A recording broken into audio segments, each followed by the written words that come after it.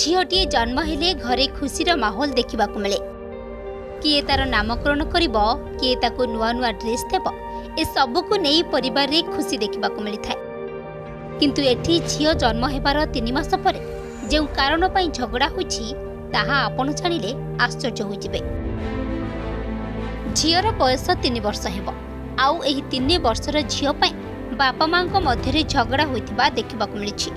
ଏହି ଝଗଡ଼ା ଏତେ ବଡ଼ ହୋଇଗଲା ଯେ ଶେଷରେ ନ୍ୟାୟାଳୟରେ ଯାଇ ପହଞ୍ଚିଲା। ନାମକରଣ ପାଇଁ ବାପା ମାଙ୍କ ମଧ୍ୟରେ ଝଗଡ଼ା। ବାପା ଝିଅର ନାମ ପଦ୍ମା ରଖିବାକୁ ଚାହୁଁଥିବା ବେଳେ ମା ଚାହୁଁଥିଲେ ପୁଣ୍ୟା ରଖିବେ। ନାମ ଉପରେ ସମ୍ମତି ହୋଇପାରିଲା ନାହିଁ। ଦମ୍ପତିଙ୍କ ମଧ୍ୟରେ ପ୍ରବଳ ଝଗଡ଼ା ଲାଗିଲା। ମାମଲା ଶେଷକୁ କେରଳ ଉଚ୍ଚ ନ୍ୟାୟାଳୟରେ ଯାଇ ପହଞ୍ଚିଲା। ଜନ୍ମ ପ୍ରମାଣପତ୍ର ହାସଲ ଓ ନାମ ପଞ୍ଜୀକରଣ ହୋଇପାରିନଥିବାରୁ ମା ଉଚ୍ଚ ନ୍ୟାୟାଳୟକୁ ଗଲେ। ଅଦାଲତରେ ଦମ୍ପତି ହାଜର ହେଲେ। ସେଠି ମଧ୍ୟ କେହି ଗୋଟିଏ ନାମ ଉପରେ ସମ୍ମତି ପ୍ରକାଶ କରିପାରିଲେ ନାହିଁ। ଶେଷରେ ବିଚାରପତି ନିଜର ନିଷ୍ପତ୍ତି ଶୁଣାଇଲେ। ଝିଅର କଲ୍ୟାଣ ପାଇଁ ନାମଟିଏ ଅପରିହାର୍ଯ୍ୟ। ସେଥିପାଇଁ ପତି ପତ୍ନୀଙ୍କ ମଧ୍ୟରେ ଝଗଡ଼ା ଗ୍ରହଣଯୋଗ୍ୟ ନୁହେଁ ବୋଲି ବିଚାରପତି କହିଛନ୍ତି।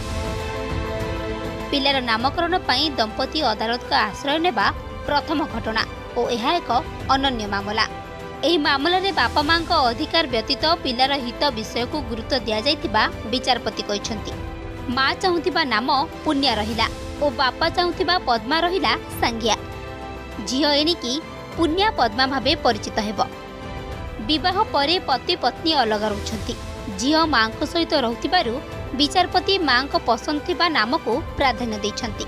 ଅଭିଭାବକତ୍ୱରେ ସମସ୍ୟା ନ ହେବା ପାଇଁ ବାପାଙ୍କ ନାମକୁ ସେଥିରେ ସଂଯୋଗ କରାଯାଇଥିବା ବିଚାରପତି କହିଛନ୍ତି ପରେ ଏହି ସମସ୍ୟାର ସମାଧାନ ହୋଇଥିଲା ବ୍ୟୁରୋ ରିପୋର୍ଟ ଅର୍ଗସ୍ ନ୍ୟୁଜ୍